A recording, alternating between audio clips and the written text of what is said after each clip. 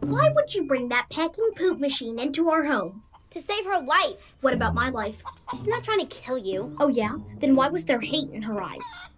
That's how everybody looks at you. I got lunch. Dad, Missy put a chicken in my room. The Sparks were gonna kill her and eat her. What the hell's going on?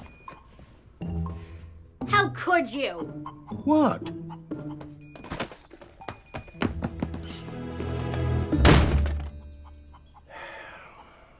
I miss your mother.